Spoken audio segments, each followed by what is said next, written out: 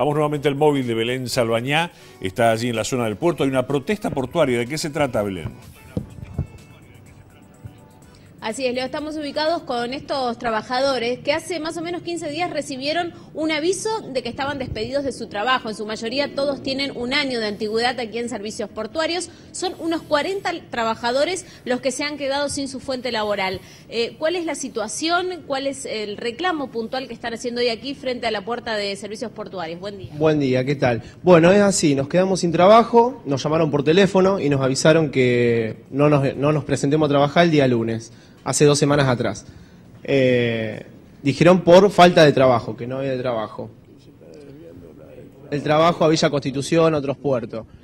El tema es así, nosotros fuimos a hablar con el sindicato, la ex Junta Nacional de Grano, en la que nos avala a nosotros, y bueno, no nos da respuesta, no, no, o sea... No, no lo acompaña en esto y nosotros ya no lo pagan la hora nocturna, cambio de turno, se guardan toda la plata de ellos y queremos la renuncia de esa gente porque no, no sabe tratar a los empleados. Son muchísimos, hablamos de casi 40, trabajadores. Personas, exactamente. El asunto es que somos eventuales, eventuales de más de un año acá trabajando. O sea que en seis meses a nosotros por ley nos tenía que dejar en planta. Hace un año, año y medio gente trabajando acá para la empresa y nunca nos ponen en planta.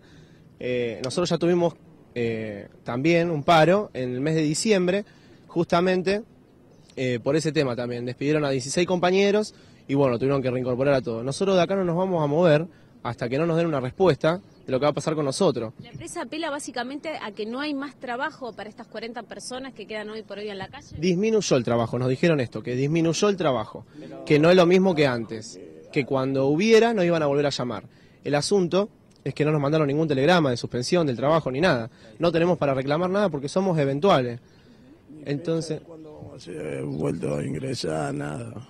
Y, y todo el trabajo de acá está siendo derivado a Villa Constitución.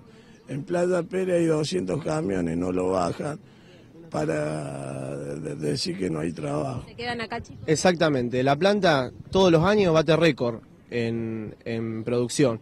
Entonces, eh, bueno, exigimos una respuesta. Bueno. Bueno, esta es la situación, entonces Leo, que se vive aquí desde Servicios Portuarios, donde estamos ubicados. Recordemos, esto viene a ser circunvalación aproximadamente a la, a la altura de Ayolas. Los trabajadores se quedan aquí, 40 trabajadores que han sido despedidos. No hay ni ingreso ni egreso de ningún personal aquí a esta planta. Muy bien, muchas gracias, Belén. Preocupante, sin lugar a dudas, la situación de estos trabajadores. Seguimos así.